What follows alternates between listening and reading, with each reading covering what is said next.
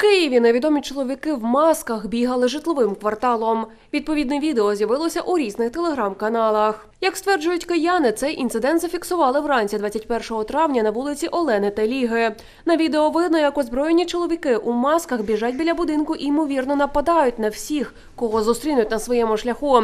На місце уже прибули правоохоронці для встановлення усіх обставин інциденту.